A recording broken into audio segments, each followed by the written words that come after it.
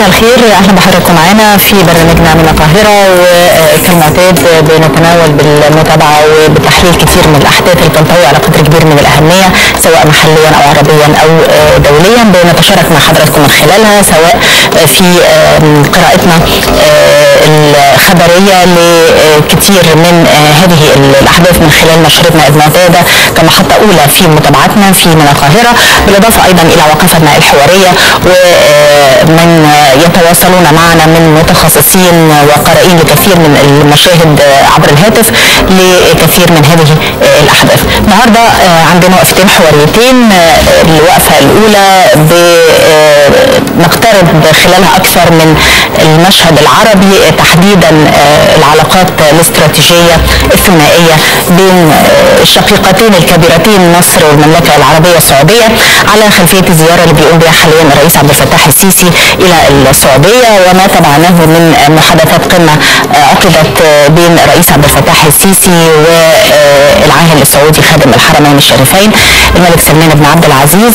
وبالتأكيد كثير من النقاط وثيقة الصلة بهذه الوقفة الموحدة والمشتركة لدولتين كبيرتين زي مصر والمملكة العربية السعودية سواء لدعم علاقتهما الثنائية أو أيضا لمجابهة ظاهرة اللي أصبحت مستشرية في الفترة الأخيرة وبتشكل خطر داهم مش بس على المنطقة العربية لكن على العالم بكله ألا وهي الإرهاب. اتضح بالتأكيد من خلال اللقاءات الثنائية بين القيادتين العربيتين توحد الرؤى ازاء مكافحة هذا الإرهاب الدعم السعودي لمصر في حربها ضد الإرهاب والجولات اللي بتحققها القوات الأمنية المصرية في مواجهة الإرهاب خاصة في سيناء بالإضافة أيضا للشق الاقتصادي اللي أيضا كان حاضر بقوة ويبقى حاضرا بقوه من خلال فعاليات هذه الزيارة التي يقوم بها السيد الرئيس عبد الفتاح السيسي إلى المملكة العربية السعودية. كثير من الدلالات كثير من الرسائل الإيجابية بالتأكيد يتم إيصالها خلال هذه الزيارة. نتطرق لها تفصيلا وتحليلا في لقاء النهارده في من القاهرة. والحقيقة أيضا الموضوع الثاني اللي بياخد نفسه بقوة وربما يعني منذ قليل كنا بنتابع كلمة المرشح الوسطي للانتخابات الرئاسية الفرنسية. إيمانويل ماكرون بالتاكيد تابعنا أيضا ملامح للجولة الأولى من هذا السباق الانتخابي الفرنسي. وبالتأكيد أيضا هناك الكثير من المؤشرات الكثير من الدلالات لما سوف تكون عليه المنافسة الشرسة بين مرشحة اليمين المتطرف وماري لوبان والمرشح الوسطي والاجواء المحيطة أيضا بهذا السباق الانتخابي ضربات الإرهاب اللي تزامنت مع هذه الجولة الأولى والتحديات الأوروبية. تحديات الإرهاب بالتأكيد ربما الإرهاب هيفرض نفسه بقوه على هواء الناخبين لمن ترجح كفته ليصبح الرئيس القادم لفرنسا. تجدر الإشارة إلى أن جولة الإعادة هتكون في السابع من مايو في تقدم نسبي حاليا لمرشحة اليمين المتطرف مارين لوبان. وان كانت في يعني أصوات هتكون من نصيب المرشح المنافس في المقابل إيمانويل ماكرون بالنظر إلى إن المرشحين مرشح اليمين الخاسر فرانسوا فيون ومرشح اليسار الخاسر بنوا هامون يعني وجهوا أنصارهم إلى إن هم يعطوا أصواتهم في جولة الاعاده لصالح مرشح الوسط إيمانويل ماكرون. نظر أكثر قربا للمشهد الفرنسي على خلفية الانتخابات الانتخابات الرئاسية الفرنسية وأهم التحديات اللي بتواجه فرنسا في هذه المرحلة. هنكون بصحبتكم أيضا في وقفه حواريه في من القاهرة. كونوا معنا نلقاكم بعد الفاصل والمزيد.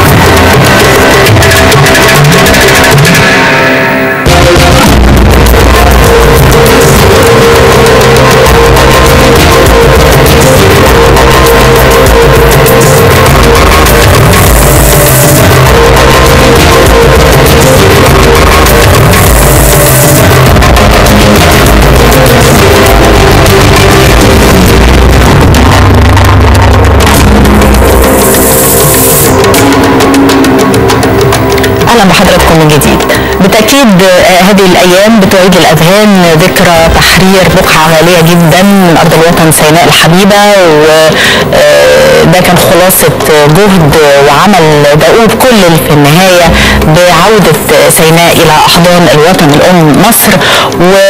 وبالتأكيد ما كانش ده نهاية المطاف. في تعمير في تنمية في مواجهة التحدي الأكبر حاليا الإرهاب ويجدر توجيه التحية إلى القائمين على ملاحقة هذا الإرهاب الغاشم و تقطيع أواصر البؤر الإرهابية واحدة تلو الأخرى.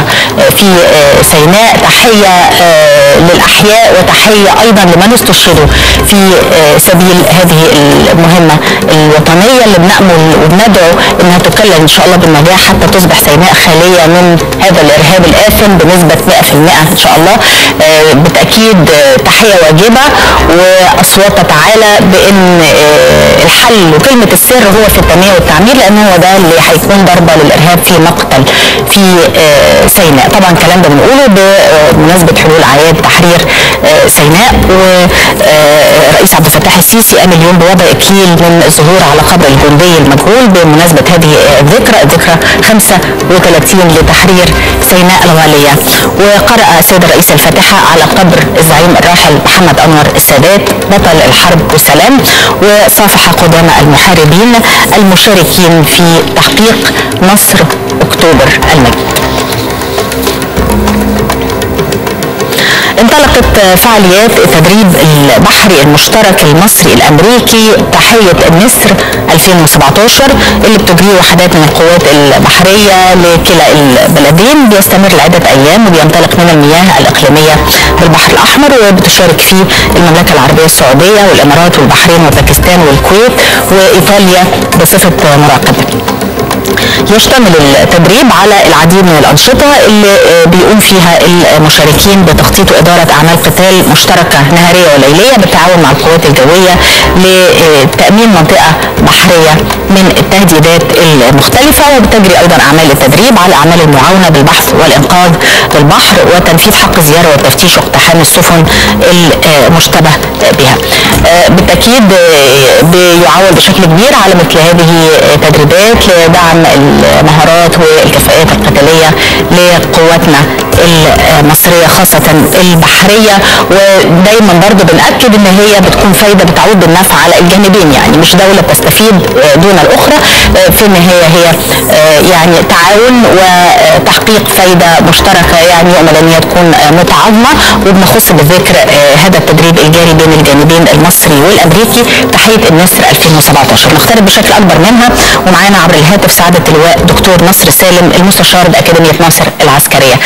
أهلا بحضرتك يا دكتور نصر. أهلا مساء الخير. مساء الخير. طبعا قراءة متخصصة ونعرف من حضرتك يعني جدوى وأهمية مثل هذه المناورات والتدريبات المشتركة ونخص بالذكر هذه الفعاليات للتدريب البحري المصري الأمريكي المشترك تحية النسر 2017 الجاري حاليا بين مصر والولايات المتحدة.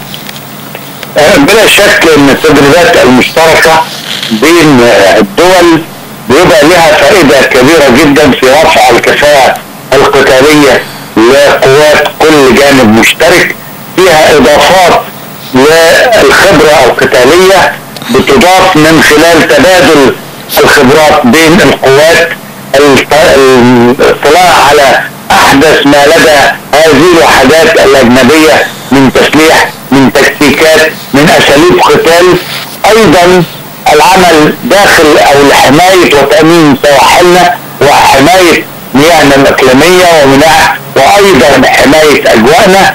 هذه التدريبات وخاصة تدريب تحية النسر ده بيدور من عدة سنوات كان بيتم وكل سنة بيتم اللي إحنا بنشوفه اشتراك دول بالنسبة لمصر وأمريكا. وهو معانا أيضا دول أخرى المملكة العربية السعودية أشقائنا في الخليج كل هذا بيضيف دائما أو بيضع لخبرتنا القتالية إضافة جديدة وأيضا هذه الاضافه إضافة أيضا لقدرتنا على حماية وتأمين أمننا القومي العربي والمصري.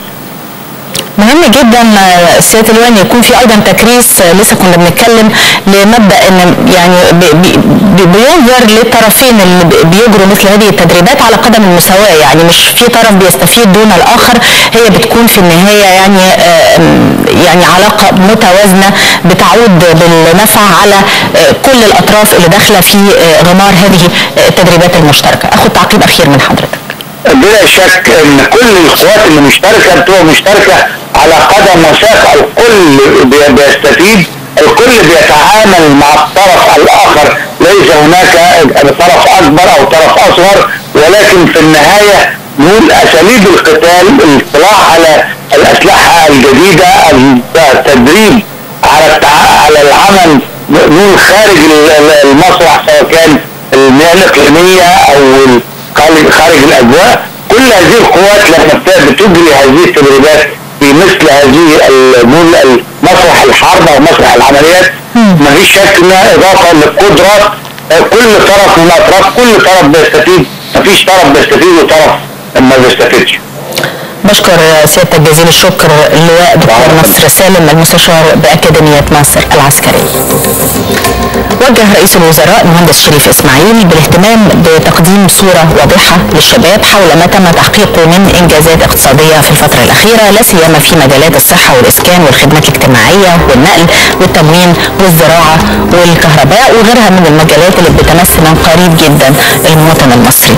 جاء ذلك خلال لقاء شريف إسماعيل بعدد من ال- الوزراء للتنسيق للجهود بما يحقق أهداف مؤتمر الشباب في مدينة الإسماعيلية المقرر عقده في الفترة من 25 وحتى 27 من هذا الشهر. وبالتأكيد ده ليه آه، يعني مهم جدا في أن يكون في انفتاح آه، على تطلعات الشباب ربما على آه، مشاكلهم من خلال صنع هذا الحوار المباشر والصريح مع الشباب حول مختلف قضايا الوطن. معنا المزيد من المتابعة الدكتور فتحي شمس عضو البرنامج الرئاسي لتأهيل الشباب. تحية لحضرتك. مساء الخير دكتور. مساء النور يا فندم على حضرتك وعلى كل السادة المشاهدين. طبعا دكتور فتحي بالتأكيد في آه، أولويات آه، بتفرض نفسها بقوة من خلال آه، هذه الدورة لمؤتمر الشباب في الإسماعيلية المرتقبة في الفترة من 25 ل 27 من شهر إبريل ال- الجاري. وبنتكلم دايما إن مهم إن يكون في هذا الحوار ال- المفتوح. نتعرف على اتجاهات الشباب مشاكلهم امالهم طموحاتهم ومن الاهميه بمكان أيضا البناء على اللقاءات السابقة اللي كانت أجريت على المستوى الرئاسي مع آه، الشباب. قراءه حضرتك. آه، خليني أقول لحضرتك إن المؤتمر الشهري للشباب المنعقد في آه، مدينة الإسماعيلية هو يأتي انبثاقا وامتدادا للمؤتمر الوطني الأول الذي للشباب الذي أطلق في مدينة شرم الشيخ. آه، وكان الهدف الأساسي منه هو فتح وخلق آليات جديدة للحوار مع الشباب. لمشاركة هذه الفئة الكبيرة التي تمثل الفئة الأكبر في المجتمع المصري لكي تساعد في بناء آه، هذا الوطن الذي أدركت القيادة السياسية بعد ثورتين كبيرتين هما ثورتي 25 يناير و30 يونيو أن المستقبل هو للشباب وأنه هو القادر على الفعل وإحداث التغيير في المجتمع. ولكن من هنا أدركت القيادة وأرادت القيادة أن تفتح عدد من القنوات مع الشباب وتمثلت أبرزها في البرنامج الرئاسي لتأهيل الشباب للقيادة آه، لاختيار أبرز العناصر المتميزة الشابة في المجتمع المصري لإمداده بعدد من المعلومات والتدريبات والدورات المختلفة. لكي يكون قادر على أن يبني هذا المجتمع وهذا الوطن برؤية علمية آه، سليمة. آه، بال- بال- بالتركيز على المؤتمر الشهري الذي سوف يتم عقده في مدينة الإسماعيلية. بالطبع سوف تكون هناك عدد من القضايا التي سوف تفرض نفسها على أجندة هذا المؤتمر وأبرزها كيفية مواجهة الارهاب يجب ان يكون هناك ثقافة شابة آه، حقيقية تستطيع تواجه الفكر الإرهابي أو الفكر المتطرف في المجتمع المصري.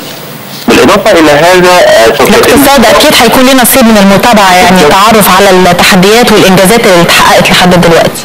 بالضبط يا فندم سوف يكون هناك بالتركيز تأكيد التركيز على عدد من القضايا منها الوضع الاقتصادي وما هو تحقق على أرض الواقع من انجازات في الفترة السابقة. بالإضافة إلى ذلك الوضع الصحي آه، والملف ملف الصحة وما قدمته الدولة وما سوف تقدمه الدولة هذا بالإضافة إلى الاستماع إلى رؤية الشباب في عدد من القضايا آه، منها الاقتصاديه والسياسية والصحية ومن ثم آه، يعني نقدر نقول الانصاف إلى هذه الرؤية وأخذها ووضعها في محل التنفيذ من خلال إيمان القيادة السياسية بها. وهي دي الخطى اللي يعني يجب يعني أن يتم اتخاذها لتفعيل المشاركة السياسية بل المشاركة المجتمعية للشباب في مصر في مرحلة يعني بالتأكيد الدولة المصريه في أمس الحاجة للاستعانة بشبابها لأن هم فعلا اللي هيعول عليهم قيادة عجلة التنمية في المستقبل القريب إن شاء الله. أنا بشكر حضرتك شكرا جزيلا على هذه المداخلة. دكتور فتحي شمس عضو البرنامج الرئاسي لتأهيل الشباب. يتوجه وزير الخارجية سامح شكري غدا للعاصمة اليونانية أثينا للمشاركة في المؤتمر الوزاري الأول لمنتدى الحضارات القديمة بدعوة مشتركة من وزيري خارجية اليونان والصين. أشار المتحدث الرسمي باسم وزارة الخارجية أحمد أبو زيد إلى أن المنتدى بيشهد مشاركة وزراء خارجية عشر دول بتمثل أقدم الحضارات اللي عرفها التاريخ.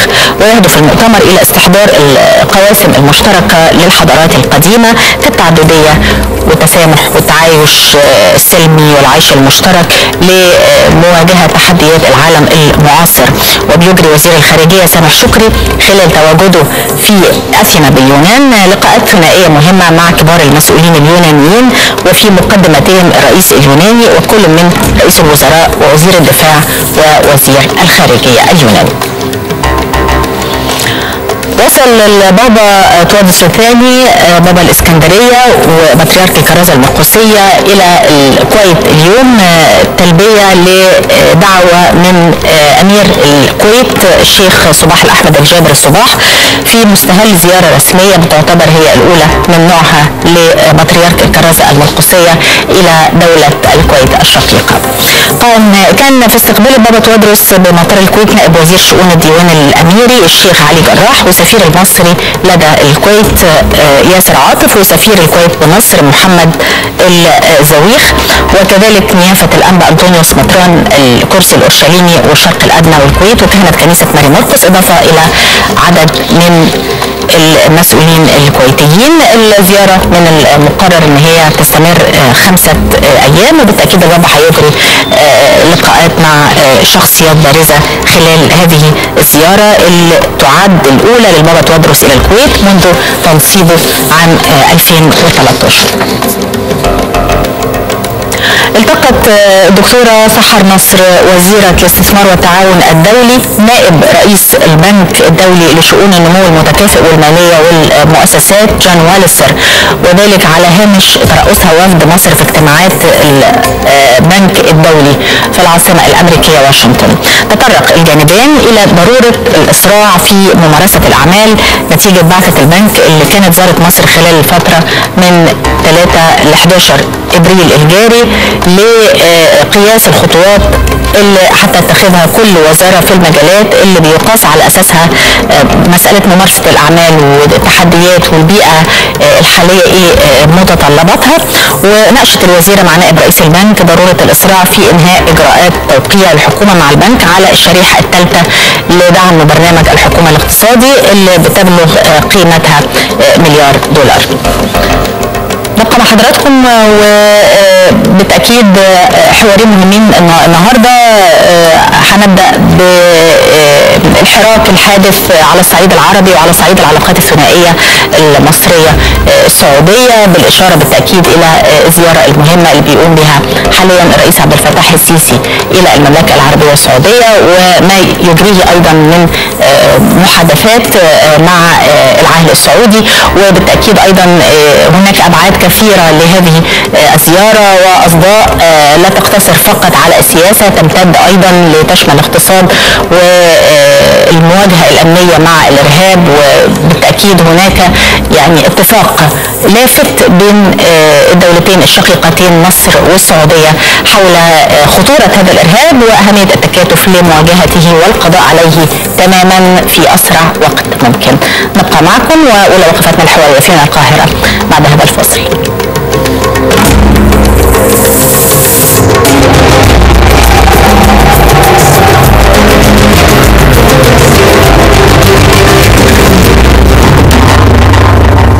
مجابهة كل محاولات التدخل في الشؤون الداخلية للدول العربية وقطع الطريق على المساعي التي تستهدف بث الفرقة والانقسام بين الأشقاء حفاظا على الأمن القومي العربي.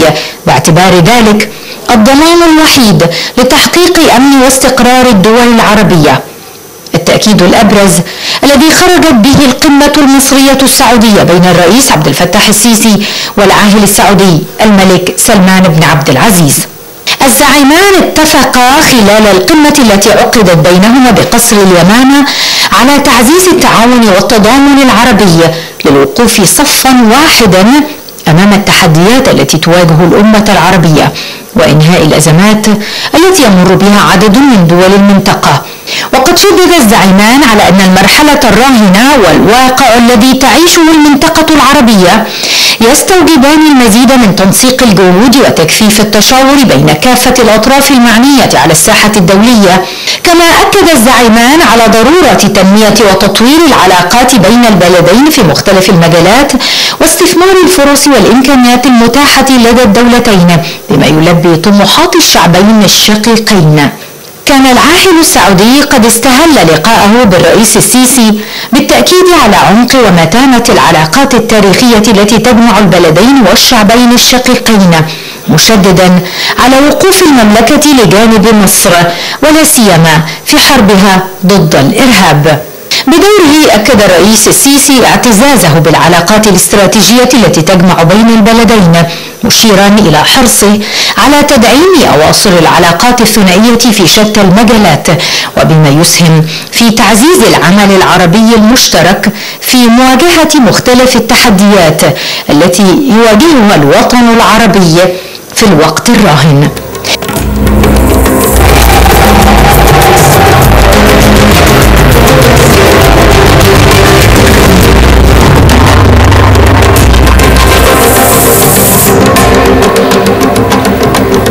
بالتأكيد ملفات مهمة جدا تفرض نفسها بقوة على طاولة المباحثات بين الرئيس عبد الفتاح السيسي والعاهل السعودي الملك سلمان بن عبد العزيز لعل أبرزها العلاقات الثنائية مواجهة الإرهاب تقارب وتوافق الرؤى ازاء القضايا الساخنة بالتأكيد يعني أبرزها في هذه المرحلة تداعيات الأزمة السورية ويعني بالتأكيد أيضا من ضمن ما خرج به وهو مهم جدا أهمية قطع الطريق على أي مساعي لإحداث صدع عربي عربي ومحاولات إثارة الوقيعة بين الدول العربية بعضها البعض والوقوف بشدة وبحدة أمام أيضا أي محاولات من قبل بعض الأطراف للتدخل في الشؤون الداخلية العربية. وقد تكون هذه أيضا واحدة من المحاور المهمة جدا اللي خرجت بها القمم العربية والقمة العربية الأخيرة تحديدا. بوجه تحية لضيفي في هذا اللقاء لنظرة أكثر قربا للحراك الفعلي الذي تحدثه هذه الزيارة الرئيس عبد الفتاح السيسي إلى السعودية سواء فيما يتعلق للدفع قدما بالعلاقات المصرية السعودية أو أيضا استثمار هذا الزخم وهذه العلاقات المتميزة لخدمة القضايا العربية العربية. معي سعادة السفير الدكتور محمد حجازي مساعد وزير الخارجية الأسبق. أهلا بحضرتك.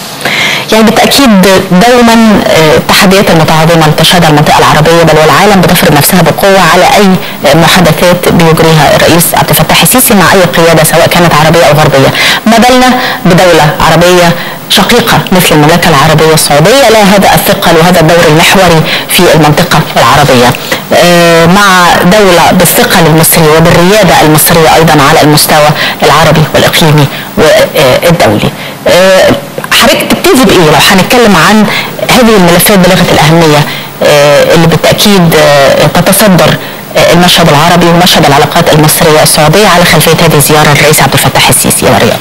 آه، هقول يا أستاذة ريهام أو هبتدي بإنها قمة هامة آه، في التوقيت الأهم والأخطر اللي بتمر به الأمة العربية.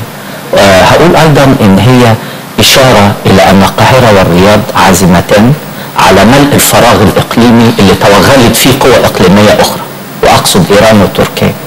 آه، أقول إن هي رسالة طمأنة للشارع العربي لأن عندما يتلقى جناح الأمة العربية وتتلاقى القاهرة والرياض ترسل رسالة اطمئنان مش في الداخل في مصر والسعودية فقط ولكن على صعيد آه، الرأي العام والشعوب العربية لأن هي بترى آه، في لقاءي قمة يعقد خلال شهر واحد في آه، عمان الأخيرة آه، والآخر اليوم في الرياض ودعوة موجهة آه، للملك سلمان لزيارة آه، مصر يعني آه، إصرار آه، من العاصمتين الأكبر آه، إن يتلاقى وان يبحث القضايا اللي حضرتك بقى أشرت إليها ونخش في ملف آه، أو أجندة هذه القمة الرئيسية. اولا لما بقول ملء الفراغ الإقليمي إن دور القاهرة والرياض هناك مسؤولية إقليمية تقع على عاتق هاتين الدولتين في توقيت بتتهدد المصالح العربية تهديدات وجودية. ليست تهديدات خطيرة وليست تهديدات حالة ولكنها تهديدات وجودية. آه، هناك دول تتعرض آه، للانهيار وهناك آه، دول تعاني من مأساة إنسانية متصلة منذ ست سنوات وهناك إرهاب متفشي على مدار خريطة الجغرافيا العربية. وبالتالي عندما تتحد كلمة القاهرة والرياض نستطيع أن نواجه الإرهاب بشكل أسرع وأ- وأنجع وأقوى ونستطيع أن نسعى لتسوية الأوضاع الإقليمية والأهم أيضا كما أرى هو إسناد إقليمي عربي للقضية الفلسطينية كما كانت قمة عمان مؤشر على دعم القضية الفلسطينية بامتياز آه هذا اللقاء بين القاهرة والرياض يوفر للرئيس محمود عباس أبو مازن اللي هيزور واشنطن في 3 مايو القادم آه، آه، هيوفر له الأرضية والمساندة العربية كما كانت قمة عمان مساندة للقضية الفلسطينية. كمان الملف المهم هو الملف الثنائي. أنا ليس لدي أي شك أن كلا الطرفين الحقيقة الملف الثنائي يطول الحديث عنه. مش عايزه أقاطع حضرتك لأنه موضوع مهم جدا لأنه في النهاية مجرد هذه القمة المصرية السعودية هي رسالة إيجابية آه، لأي طرف بيسعى إلى بث الفرقة وإحداث ال- الوقيعه اللي ممكن بعض الأطراف الخارجية تسعى لاحداثه داخل الدولة الواحدة وداخل الأشقاء وبالتأكيد يعني في رسالة إيجابية من خلال هذه الزيارة. نتوقف معها ومع ابعادها الإيجابية أيضا على العلاقات الثنائية المصرية السعودية. لكن نرجعها قليلا لحين متابعة موجز أخبار الساعة بصحبة الزميل عمرو عبد المجيد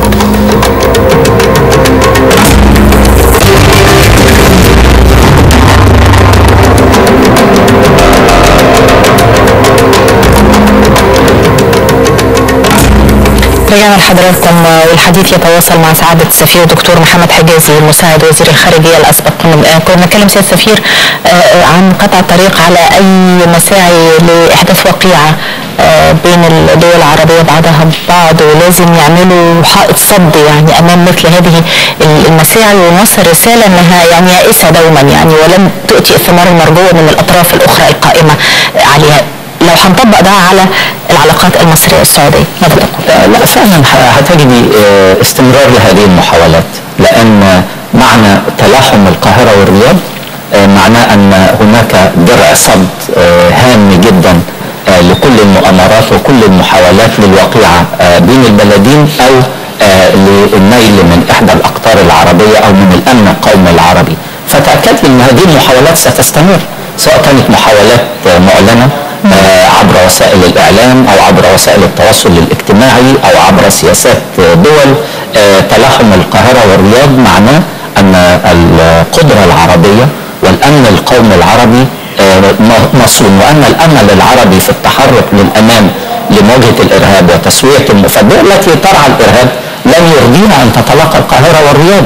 الأوساط آه، سواء كانت إقليمية أو دولية اللي بتجد في تقارب القوتين الأهم في المنطقة والعاصمتين الأكثر يعني آه، وعيا وإدراكا للمخاطر المحدقة بالإقليم سواء كنا بنتكلم عن أمن الخليج أو الأمن العربي الجماعي آه، لن يزيدها اقتراب القاهرة من الرياض إلا تصميما على النيل من هذا التلاحم. وبالتالي علينا إن إحنا نحسن هذه العلاقات. نحسنها عن طريق إيه يا أستاذ ريان؟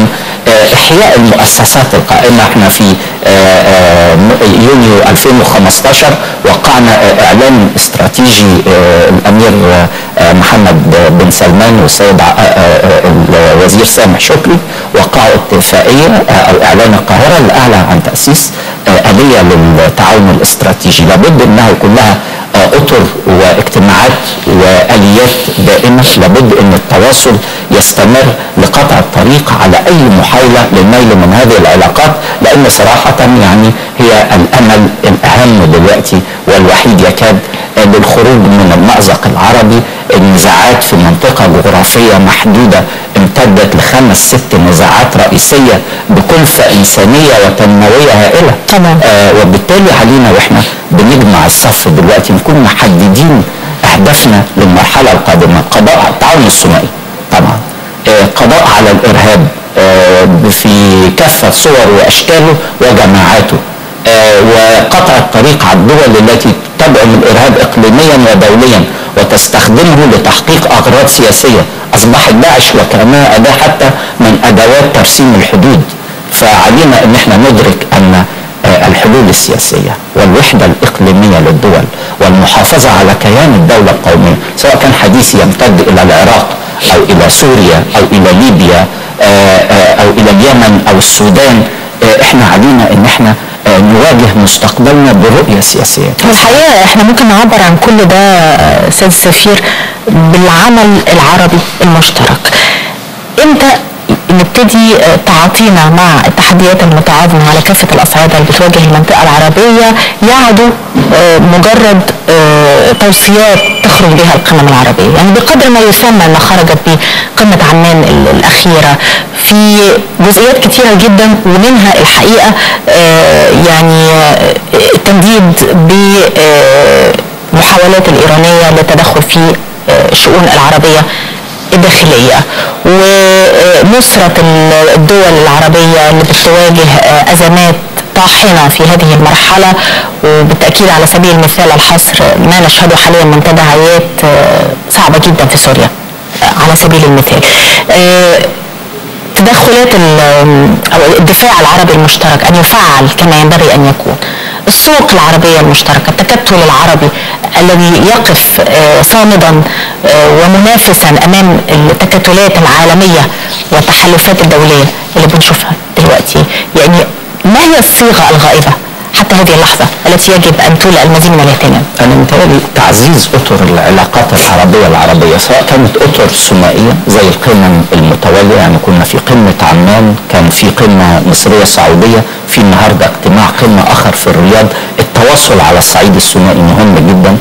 تحويل أطر العلاقات الثنائية لآليات تنفيذية تتابع بشكل دوري. يعني إحنا عملنا آه، إطار للتعاون الاستراتيجي مع المملكة عليه إنه يحول نفسه إلى آليات تجتمع بشكل مستمر الجامعة العربية يعني تتحمل فعلا مسؤولية آه، تاريخية في هذه المرحلة. والسيد أحمد أبو الغيط لا يألو جهدا حقيقة آه، للتذكير بأهمية التضامن والتلاحم. وحدة الفكر والرؤى آه، يعني إحنا إذا كنا في مصر بنسعى لتعزيز دور الدولة القومية الحفاظ على الوحدة الإقليمية للدول إعلاء شأن الحلول السياسية. علينا أن إحنا نسعى لإقناع كل الأطراف الإقليمية وفي منطقتنا أنه لا سبيل إلا إعلاء الشرعية والحفاظ على الدولة القومية والوحدة الترابية للدول العربية وعدم التدخل في الشأن الداخلي آه، للدول وعدم مساندة آه، دول لأطراف إقليمية متوغلة آه، في حقوقنا وفي مساحتنا إذا ما التقت القاهرة والرياض زي ما قلت في بداية حديثي أنا بملأ فراغ كلما انفصلت العلاقة كلما زادت التوغلات سواء كانت الإيرانية أو التركية آه، و- آه، والتكتلات الخارجية أو الدول الأجنبية. بمعنى أن سؤالك آه، هام جدا في نداء داخلي داخل الدول العربية وداخل جامعة الدول العربية لبحث آليات تنفيذ المقررات لأن فعلا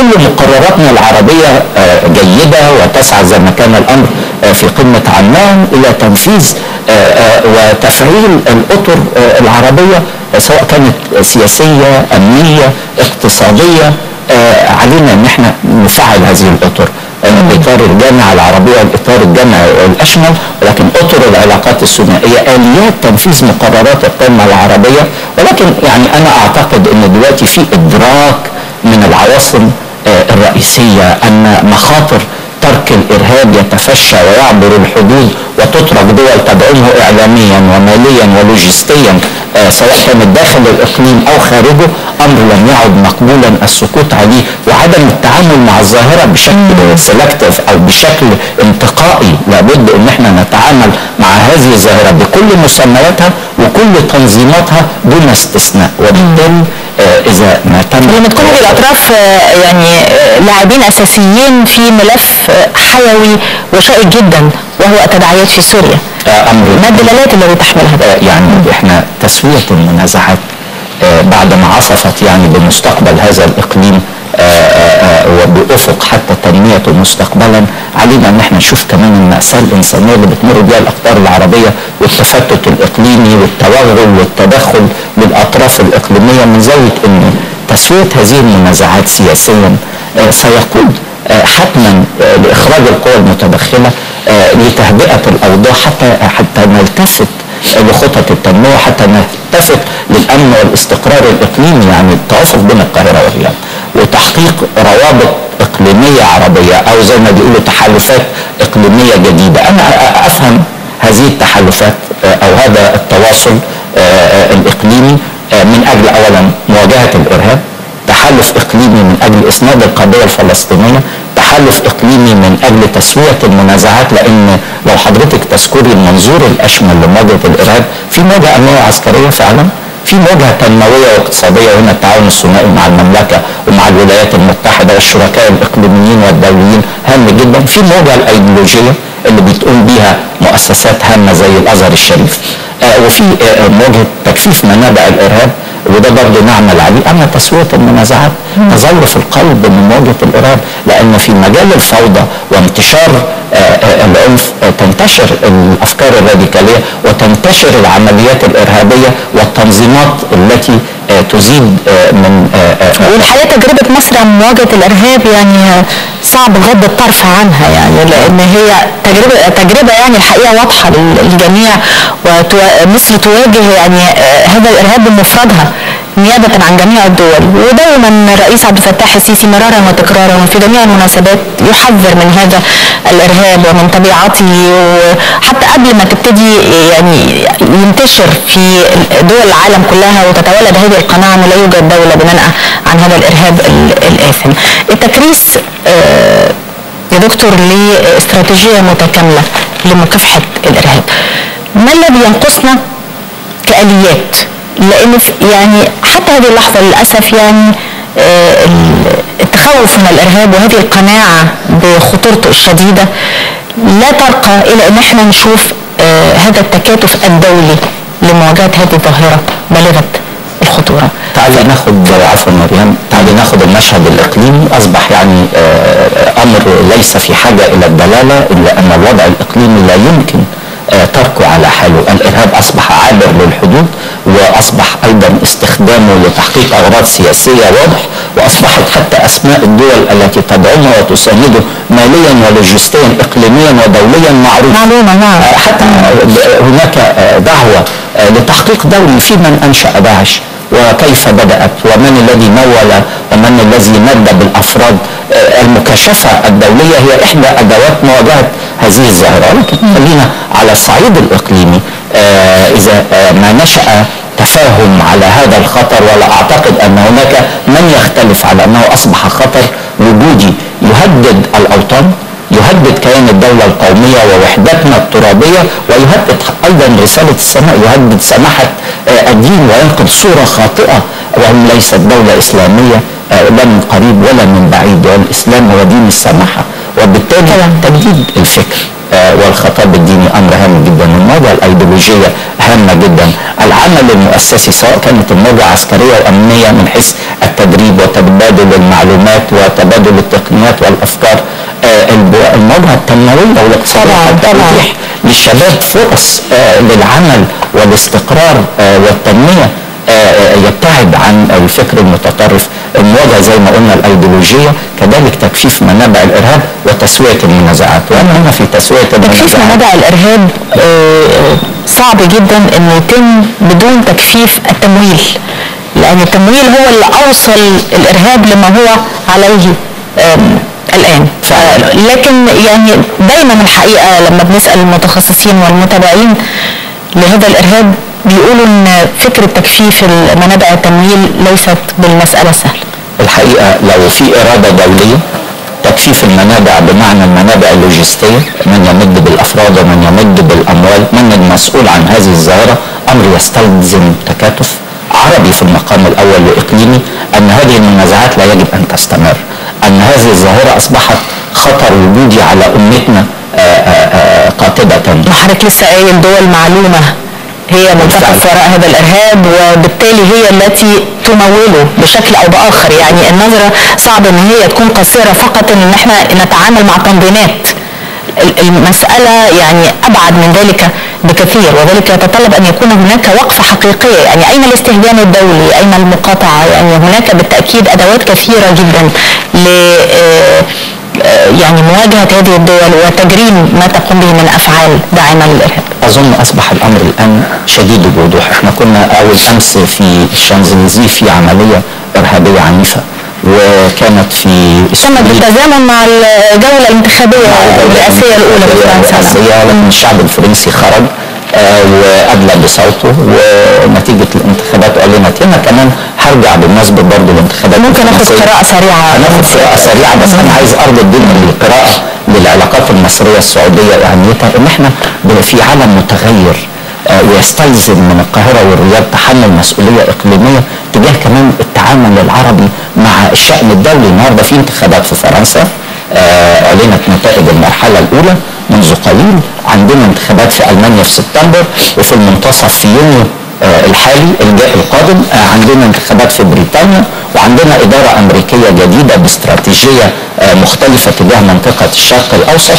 يعني في تحديات وتغيرات حتى في الداخل آه، السعودي وفي الداخل المصري. هناك تطورات هامة على الساحة العربية تستدعي التواصل المستمر وآليات دائمة آه، حتى نستطيع سواء على الصعيد العربي وفي القلب منه القاهرة والرياض. نرجع بقى لسؤال حضرتك. قراءة سريعة طبعا. فوز اليمين الشعبوي اللي بتمثله مارين آه، لوبان آه، آه، آه، كمرشح تاني بعد آه، مانويل آه، ماكرون آه، آه، آه، ده آه، دليل على إن آه، هناك آه، توجه آه، فرنسي آه، لحسم الجولة الثانية. أنا أراها لصالح مانويل آه، ماكرون. الكفة هترجح للوسط. وليس اليمين المتطرف من اليمين نظر حركة مدرسة استشرافية لأن الحقيقة آه، فرنسا لديها moral values أو قيم آه، سامية دايما تدافع عنها. آه، فإذا كان التيار اليمين الشعبي قد امتد في أوروبا فربما فرنسا يعني آه، تضع آه، آه، نهاية أو حدا له. وأعتقد أن مانويل آه، ماكرون مرشح أفضل آه، لمستقبل الاستقرار في أوروبا. على فكرة كلامنا كمان عن تغير الوجوه ال- الأوروبية والأمريكية الوجوه الرئاسية مش بعيد. عن القضايا العربية لأن في النهاية هذه الدول لها يعني دور من المفترض أن يكون لها دور كأطراف فاعلة في قضايا المنطقة العربية ومنطقة الشرق الأوسط بصفة عامة. فيعني عندما يكون هناك تغيير في الرئاسة الفرنسية والتغيير الذي حدث آه، بالفعل أيضا آه، تغيير جذري في الولايات المتحدة والقيادة الأمريكية الجديدة ممثلة في دونالد ترامب. يعني كيف يمكن لكل ذلك أن يكون له أصداء تغير من دفة الأمور أو التعاطي التقليدي مع قضايا الشرق الأوسط. يعني السياق الإقليمي في الشرق الأوسط مش ضار بشعوبه فقط. هو ضار أيضا بأوروبا. وشفنا نزوح اللاجئين والهجرة غير الشرعية وتفشي الإرهاب. آه إذا العلاقة عضوية. إحنا جنوب أوروبا. آه وبالتالي العلاقة العضوية دي هتحتم على أوروبا أن هي تسرع الخطى في دعم توجهاتنا الإقليمية لتسوية النزاعات وفي القلب منها أرى القضية الفلسطينية عشان انشغلنا بالملف السوري عن حق آه، آه، انشغال آه، مشروع ولكن القضية الفلسطينية تعد هي القلب من كل كل تلك القضايا واللي بيها بنقدر أيضا نحاصر الإرهاب ونحقق العدالة لأنه بيستفيد من استمرار حالة الغضب والسخط المصاحبه لاستمرار آه، آه، آه، هذا النزاع لمدة ستة عقود متتالية وهي القضية الأكثر عدالة وإحنا مقدمين كمان على زيارة لمحمود عباس زي ما ذكرت للولايات المتحدة ومبادرة السلام العربية تم تأكيدها بكافة عناصرها في قمة عمان وعلى إسرائيل زي ما جربت السلام مع مصر ومع الأردن وتحقق لها الأمن والاستقرار على حدودها. مع الدولتين أن تجرب السلام مع الفلسطينيين. حقيقة كثير بيؤكدون دائما بأن بقايا القضية الفلسطينية من دون حل هو الذي أطلق العنان بهذا الشكل الصارخ للإرهاب على مستوى العالم. أختتم مع حضرتك آه، سيد سفير بالمفردات التي يجب أن تكون حاكمة للعلاقات الخارجية العربية والعلاقات الخارجية المصرية والسعودية من أجل تحقيق هذا التطلع لآفاق أرحب للعلاقات المصرية السعودية في المرحلة القريبة القادمة إن شاء الله. آه، استمرار التواصل. آه، آليات عمل مشترك دائمة.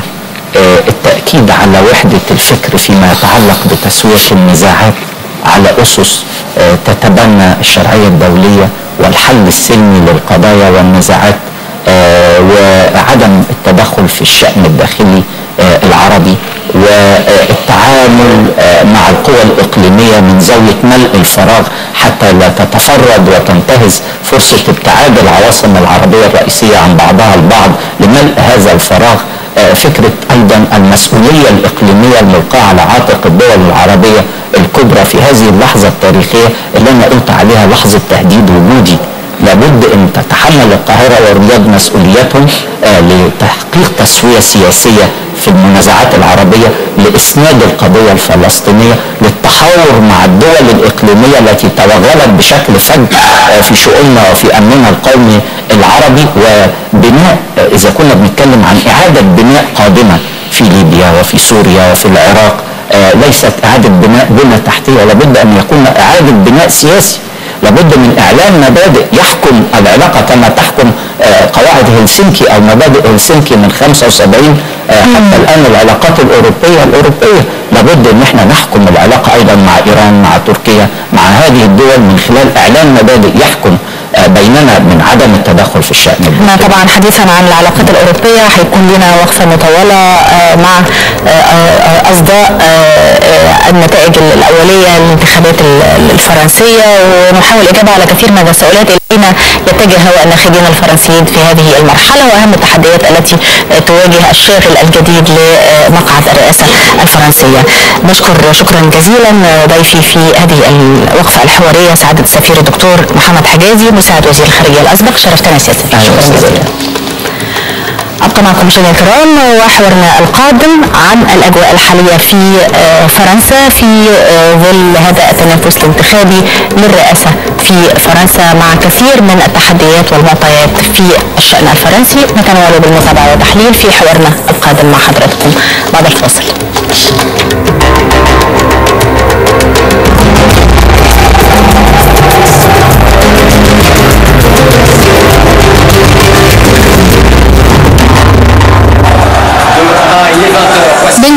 السابع من مايو المقبل. يترقب الفرنسيون رئيسهم المقبل. بعدما أظهرت الجولة الأولى للانتخابات الرئاسية تصدر إيمانويل ماكرون ومارين لوبان وما بين مرشح الوسط إيمانويل ماكرون ومرشحة اليمين المتطرف مارين لوبان تحبس القارة أنفاسها. تخوفا من احتمالات فوز لوبان التي تنادي بانسحاب فرنسا من الاتحاد الأوروبي ما يعني ضربة قاسمة للاتحاد الذي بات في وضع لا يحسد عليه بعد بريكزت يعتبر ماكرون البالغ من العمر 39 عاما. مدافعا قويا عن الاتحاد الأوروبي وبقاء فرنسا فيه وفي حالة فوزه في الانتخابات سيكون أصغر رئيس في تاريخ فرنسا منذ عقود طويلة.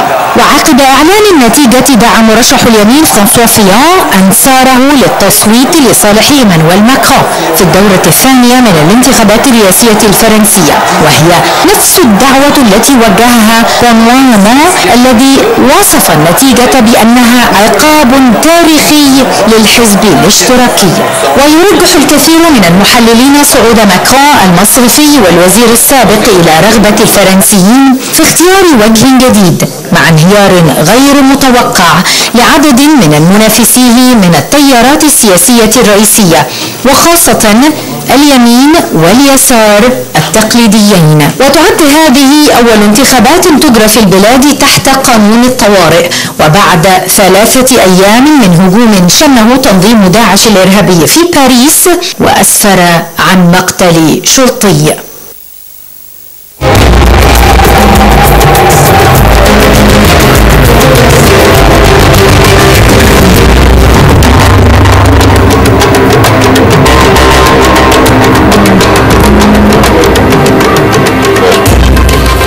أهلا بحضراتكم من جديد. طبعا هنتكلم عن الاجواء الانتخابية في فرنسا. ضيفي في هذا اللقاء لسه كان كنا بنتكلم وبيقول إن فرنسا عودتنا على المفاجآت على حد قوله. وإن كان البعض بيشوف إن المسألة هذه المره إلى حد كبير سوف تخلو من المفاجآت. وكفاية المفاجآت اللي حصلت في الانتخابات الرئاسية الأمريكية. يعني هل تستمر المفاجآت أم لا؟ من يفوز من خلال المرشحين الوسط واليمين المتطرف من خلال النتائج الأولية للجوله الأولى من الانتخابات الرئاسية الفرنسية. تجدر الإشارة طبعا إن جولة الإعادة مقررة في السابع من شهر مايو القادم. بالتأكيد هنتطرق لهواء الناخبين إلى اين يتجه. إيه الموضوعات أو إيه القضايا اللي ممكن تكون حاكمة لاختيار الناخبين في هذه المرحلة اللي ممكن ترجح كفه مرشح دون الآخر والسبب أيضا في خروج مرشحي اليسار واليمين من المنافسة في الجوله الأولى من الانتخابات وتوجيههم أيضا لأصوات مرشحيهم للمرشح الوسطي إيمانويل ماكرون. مع حضراتكم وهذا الحوار وهذا اللقاء مع دكتور توفيق البير أستاذ العلوم السياسية بجامعة القاهرة. أهلا بحضرتك يا دكتور. أهلا فندم طبعا حضرتك ربما تكون من قبل من حدثنا عن الأجواء الانتخابية في فرنسا خاصة وحضرتك يعني أقمت في فرنسا لفترة ليست بالقليلة. زي ما حضرتك قلت أثناء الفاصل الإخباري قبل ما نطلع على الهواء كان متزامن مع رئاسة ميتران وساركوزي. صحيح؟ طيب هذه المرة بقى إلى أي مدى يمكن أن تختلف هذه المنافسة الانتخابية الرئاسية؟ الانتخابات دي ذات طابع خاص لم يحدث قبل ذلك. لأنه المرشحين لو لو تعيين المرشحين كان تم بالطريقة العادية كنا شاهدنا صراع ما بين الرئيس هولاند والرئيس السابق ساركوزي. اللي حصل إنه الاثنين دول خسروا الرئيس هولاند قرر عدم الترشح لأنه حس إنه هيخسر المعركة والرئيس ساركوزي وافق الداخلين اليمين اختاروا مرشح غيره فكان أول مرة يحصل إنه حصل تجديد في في المرشحين. الوجوه أغلبها باستثناء المرشح اليمين مش معروف بالنسبة للناخب دي من ناحية. من ناحية ثانية النتيجة كانت واضحة جدا إنه الأحزاب التي احتاجت حكم فرنسا من سنة 81 هي الحزب الاشتراكي والحزب اليمين اللي حاليا اسمه جمهوري كل شوية بيغير اسمه. الأحزاب دي كان واضح جدا إن فرصها لوصول الدولة الثانية ضعيفة ودي سابقة لم تحدث. الحزبين اللي هم بيحكموا فرنسا من سنة 81 ويمكن آه من سنة 81 عشان ما نخشش في قصص الحزبين دول قلشوا المرشح بتاعهم قلش طبعا ده حكم قاسي من الناخب الفرنسي على أستبعد يعني مرشحين أست... آه. أستبعد ما وصلوش الدولة الثانية ولا فصافيون ولا بنوع امور نجحوا في الوصول إلى الجولة الثانية من ناحية ده حكم الناخب على أداء الحزبين. ده كان متوافق مع التوقعات قبل ما الانتخابات تجرى بالفعل. إلى حد ما هو اللي حصل لو حضرتك سمحتي لي دقيقه في القصة دي إن القرار الرئيس هولاند بعدم الترشح كان له أصداء إحنا لم تحسب جيدا. الناخب الفرنسي سواء كان يمينيا أم يساريا فهم إن المعركة محسومة لليمين. لو الرئيس اللي هو الرئيس الطبيعي للحزب الاشتراكي قرر عدم الترشح معناه إن هو حاسس إن الهزيمة آه، جاية جاية. لا آه. فاللي حصل إنه آه، غير الحزبين دول بيعانوا من أزمة ثقة الناخبين بتوعهم أساء آه، اختيار المرشح بمعنى على سبيل المثال كمان ينطبق على المرشح اليساري الناخب اليميني قال ما أنا كسبان كسبان اخد مرشح يخاطب كل الناس ليه هاخد مرشح يمين يميني كح فهو اختار مرشح برنامجه فيون. آه، آه، فيون برنامجه آه، الثقافي محافظ جدا كاثوليكي متدين أكتر من المعدلات الموجوده في فرنسا بكثير. ومرشح البرنامج الاقتصادي بتاعه ليبرالي بطريقة لا تطر... لا لا يقبلها الناخب الفرنسي. هو كان كانوا ماشيين بمنطق إحنا كسبانين نعمل اللي إحنا عايزينه. ف وجاي الناخب اليساري عمل نفس الشيء بس منطق تاني إحنا خسرانين فليه نحاول آه، نخون قيمنا نعمل برنامج اشتراكي قاعة القرارين دول الناخبين اليسار والناخبين اليمين خلق مساحة كبيرة قوي في الوسط في الوسط اللي هو مش مستريح للتطرف اليميني ولا مستريح للتطرف اليساري. ضمن على كده حضرتك الفضيحة اللي أصابت فيهم في مقتل إن ثبت إن هو أو ثبت ما أعرفش أو ثبت التهمة اللي طلعت إن هو آه، دفع فلوس من فلوس الدولة للسيدة حرمه بدون وجه حق. طيب حضرتك كنت بتتكلم على إن المرشحين الخاسرين لليمين واليسار كانوا منذ البداية متوقع آه، إخفاقهما. على الأقل من منطلق ان إن هم ما كانوش الاختيار الأصوب لمرشحين من الأساس. لو اتكلمنا على آه، ماكرون هل على العكس كان مرشح آه، قوي من قبل الوسطيين؟ ماكرون لما ماكرون التعبير اسخف مما اراد بس ماكرون طفل معجزة. آه، هو وزير الابن الروحي لهولندا. وزير اقتصاد آه، كان جاي من الحزب الاشتراكي أو بينتمي إلى الأجنحة اليمينية آه، للحزب الاشتراكي أي يؤمن بالاقتصاد الحر. يعني هو كان وزير اقتصاد في حكومة آه، في حكومة طبعا. أيوه. ثم هو وفي الآخر هو البرنامج الاقتصادي بتاعه بيشبه برنامج الرئيس هولندا مع فرق جوهري إن هو هولندا عمره ما قال أنا هعمل كذا. هو عمل كذا بس كان بيقول عكس. اللي هو بيعمله. بينما ده صريح أنا هعمل كذا وكذا وهو في الآخر ده اللي عمله هولندا أفهم من كلام حضرتك إن الهوى العام في فرنسا ربما يكون على عكس الاتجاه العام للناخبين في الولايات المتحدة على سبيل المثال في التجربة الانتخابية الأخيرة إن هم لا يريدوا رياح التغيير بل العكس من منطلق إن هم اختاروا شخص ربما بشكل كبير هيسير على نفس النسق اللي سار عليه آه، الرئيس الفرنسي. السابق فرانسوا اولاند okay. آه، سؤال حضرتك سألت سؤالين في الواقع. السؤال إيه أخبار التيار الشعبوي في فرنسا؟ والسؤال الثاني هل آه، في الآخر آه، ماكرون مرشح للاستقرار آه، هو سؤال الفرنسيين زي آه، شعوب كثيرة عايزين حاجة وعكسها. هم عايزين جديد ومن ناحية تانية مش عايزين جديد قوي. فهو جديد وجه جديد صريح في السن هو ما كانش معروف من سنة. بس ده آه، نقول إيه ابن طبيعي للإستابليشمنت للنخبة الفرنسية. عمل أحسن المدارس كان وزير بسرعة اشتغل في بنك يعني ده آه، دي إحدى معجزاته التسويقية. إن نجح انه يقدم نفسه إن هو مرشح ضد النظام. هو ابن النظام وهيقعد ابن النظام. ومن ناحية تانية كان جديد. فهو كان بيخاطب الجانبين المتعارضين في الشخصية الفرنسية. عايزة جديد وخايفة منه.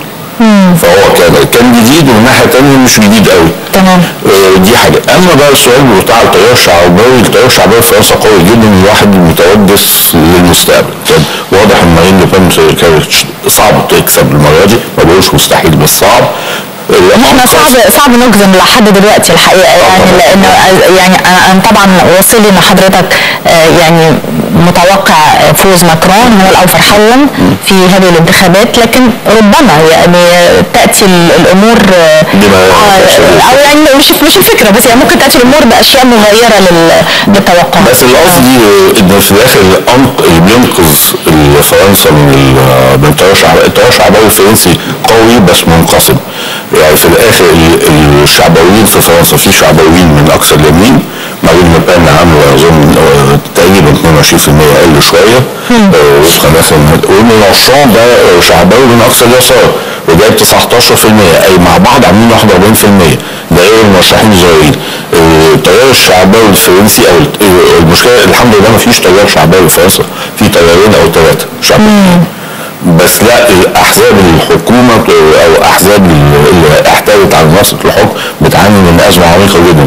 القضية دي ما ما انتهيناش منها لسه. ايا كان القادم الجديد لسدة الحكم في فرنسا أبرز التحديات اللي هتواجهه من وجهة نظر حضرتك؟ الاقتصاد الاقتصاد وكيفية المحافظة على السلام الاجتماعي هو الف- ال- الفكرة إن المشكلة الاقتصادية دي أنا مش شايف لها حل. اللي بيحصل إيه؟ إن العولمة تسببت آه، والعولمة اتباعت للناخب الفرنسي والناخب الأوروبي بصفة عامة إن هو هيشتغل أقل ويكسب أكتر وإن اللي هيخسر عنده هو العامل القليل المؤهلات الراجل مش الست.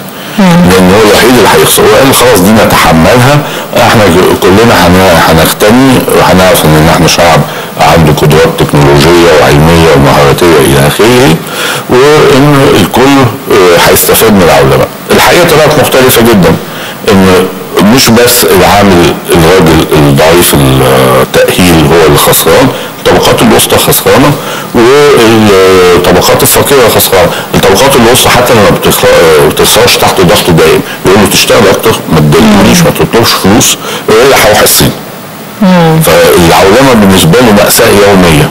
مأساة يمكن كلمة ضخمة بس مشكلة ال- البعض شايف إن الحدث الإرهابي اللي حصل في شانزليزيه بالتزامن مع الجولة الأولى من الانتخابات ال- ال- الفرنسية ربما يغير دفه الأمور قليلا يعني أو يزيد الهاجس الأوروبي الهاجس الفرنسي تحديدا من ال- الإرهاب ويلعب على أوتار الناخبين.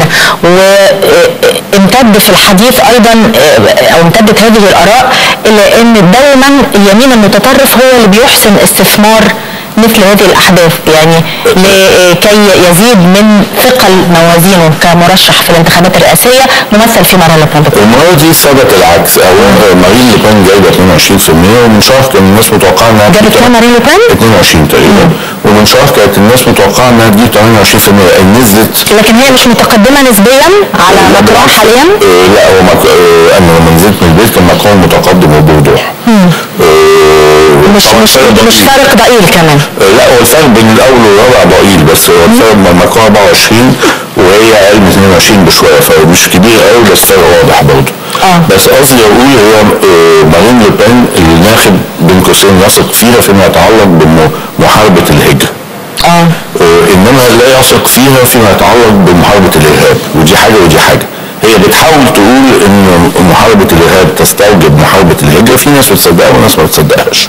في- فيما يتعلق محاربة الإرهاب الناس لا تثق فيها الهجرة غير الشرعية آه، أصبحت في الفترة الأخيرة الفزاعة بالنسبة لل- للأوروبيين يعني هل هي كانت أيضا حاضرة بقوة في البرامج الانتخابية للمرشحين الفرنسيين للرئاسة؟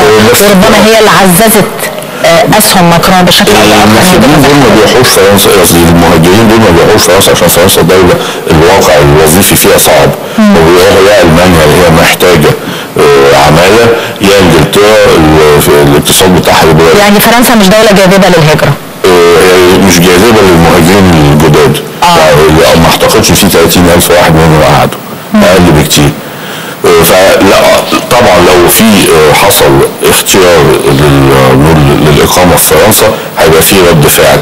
وأنا طبعا على المدى الطويل أعتقد إن مارين لوبان ليه- مارين لوبان ليها فرص بس مش المرة دي. يعني وقد أكون مخطئ طبعا. يعني حضرتك شايف إن هي ممكن آه، لم تخرج من المشهد.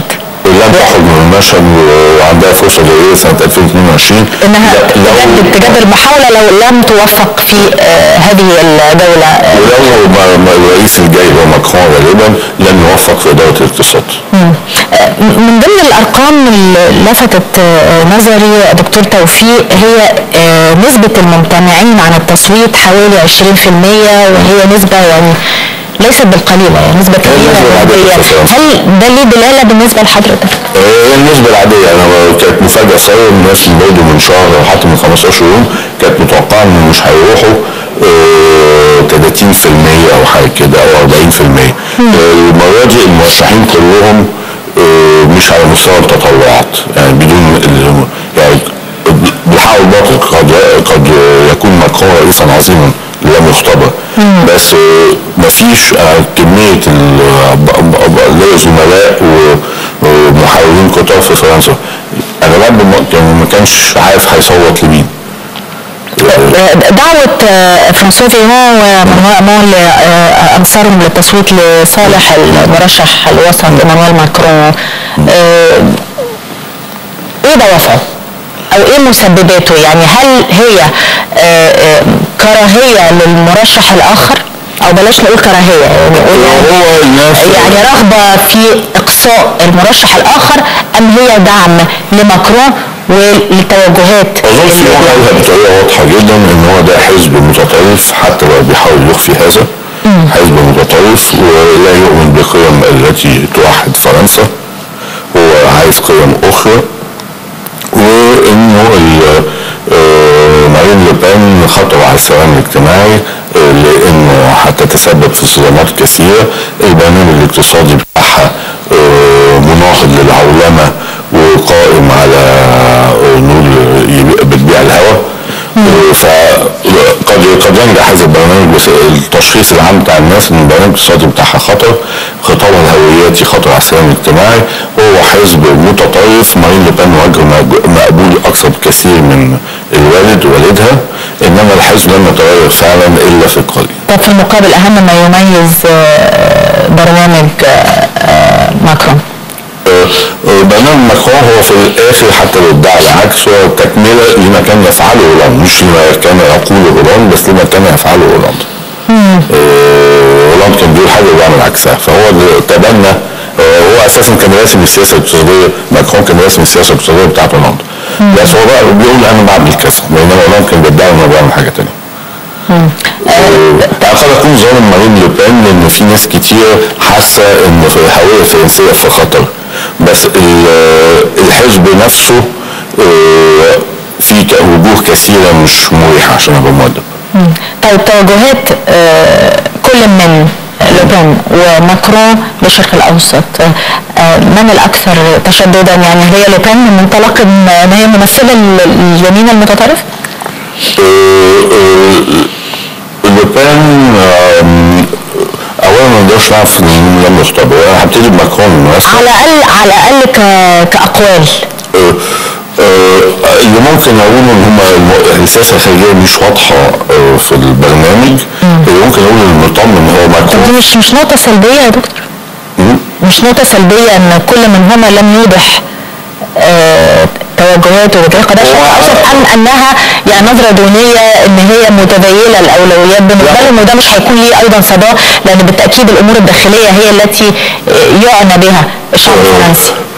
هو في عشان اظلمهم شوية في هي القضايا هي بالترتيب كالآتي بس ما اتكلموش فيها كتير. الوحده الأوروبية آه، ماكرون معاها آه، مارين لوبان ضدها الموقف من روسيا آه، آه، ماكرون من أنصار موقف حاسم متشدد من السياسة الروسية. مارين لوبان شايفة إن بوتين مظلوم وإن روسيا لها تطلعات مشروعة في المشاركة في قيادة العالم. فده خلاف. من هم ال- الأقرب للتقارب مع الولايات المتحدة. آه، ده سؤال كويس بصفة عامة ماكرون بس ماكرون وترامب مش على نفس مشاهدهم عكس بعض.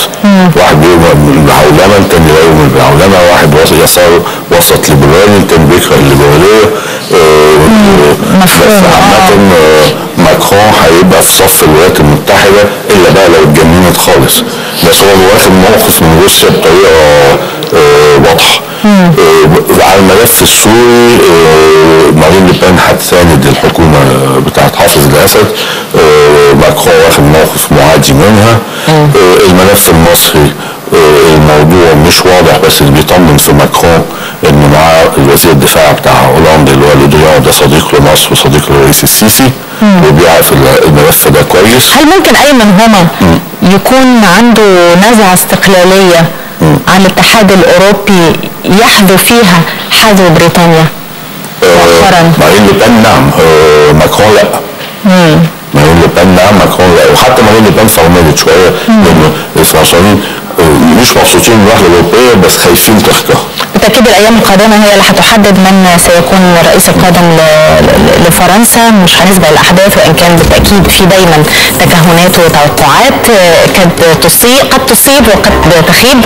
وفي نفس الوقت الحقيقة يعني اتجاه دكتور توفيق ان هو ما يستبقش الأحداث ويقول لسه لم يختبر أي من المرشحين لازم ننتظر حتى نحكم عليهما آه، على الأقل يعني بشكل مبدئي. أنا بشكر حضرتك شكرا جزيلا دكتور توفيق البير آه، أستاذ العلوم السياسية بجامعة على لقائنا